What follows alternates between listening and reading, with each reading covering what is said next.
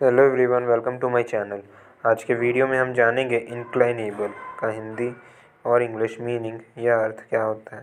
इंक्लाइनेबल इसका हिंदी अर्थ है प्रवृत्त, झुकाव, उन्मुख। प्रवृत्त, झुकाव या उन्मुख।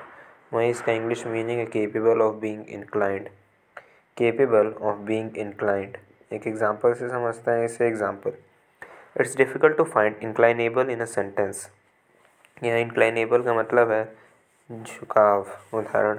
एक वाक्य में झुकाव खोजना मुश्किल है। इसी के साथ आज के वीडियो में इतना ही। Thank you so much for watching my videos